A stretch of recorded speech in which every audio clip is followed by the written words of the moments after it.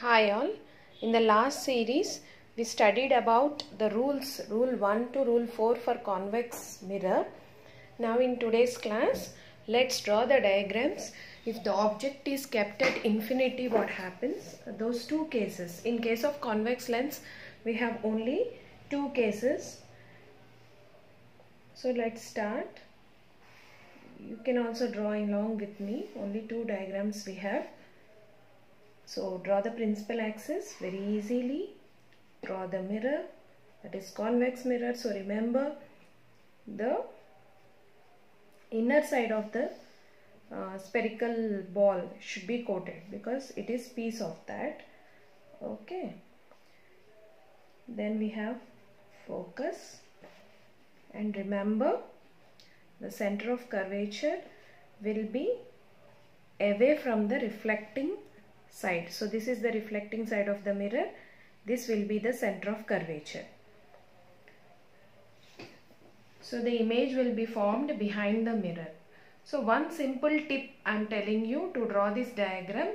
Uh, just uh, make a similarity between plane mirror and convex mirror.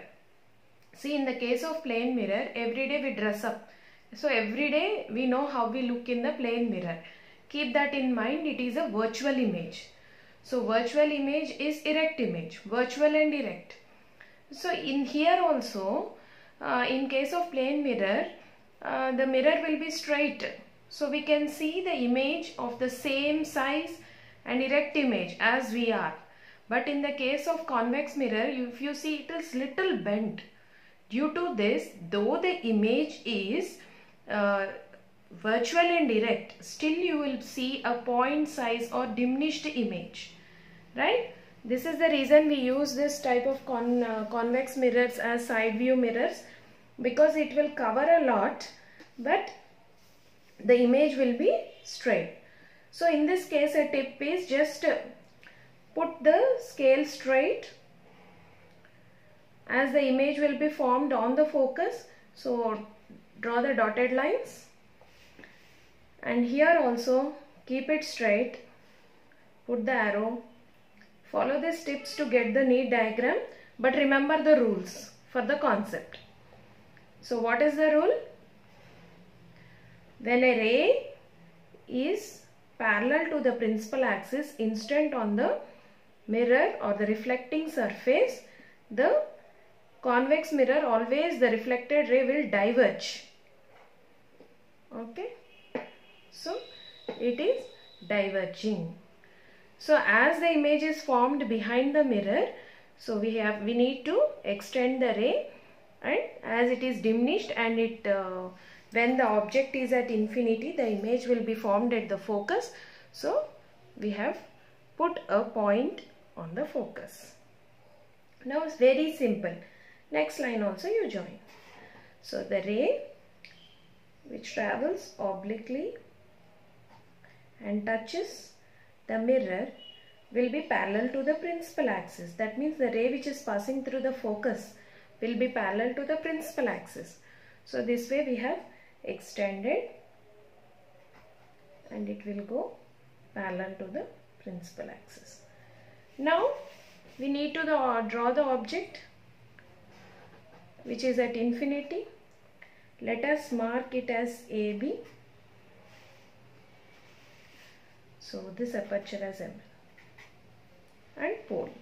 See so simply we have drawn the picture 1 case 1 now coming to case 2 this is when the object case 1 is when the object is at infinity the image will be formed at the focus behind the mirror and the image will be virtual erect and diminished. That is about the image. Now coming to case 2 same again very easily I hope. Now this is uh, series 4 so you will be able to draw the aperture the reflecting size very easily. Pole focus center of curvature. Then now the object will be anywhere between infinity and the pole. So this is the second case so this is the object Now how to draw it easily?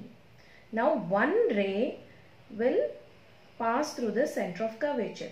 So till the ray touches the mirror you have to draw complete line and from here a dotted line. So this ray obviously it will reflect back right and we require one more ray as you know to draw an image we require meeting of two rays then only we can draw it. So one more uh, law we will use rule 1 when the rule when the ray touches the uh, parallel to the principal axis touches the mirror it passes through the focus. So let us meet this ray at the focus dotted line right. So now here very simple our A dash and B dash because it is the image is formed. Again same thing it is virtual erect image. It forms behind the mirror just like plane mirror. But what is the difference? It is diminished. Okay? So whereas in case of concave mirror the image will be real and inverted. Only when the image is between pole and the focus you can see the image will be erect in the case of concave. Whereas in the convex mirror it is very very easy only two cases we have one at infinity and the other one between pole and anywhere at infinity. So here same just remember the plane mirror concept. Then easily you will remember about the convex mirror and concave will be obviously opposite to that. And easily you can draw all the ray diagrams related to concave and convex mirror. So in our next series, we'll study about the ray diagrams of lens. Okay, thank you.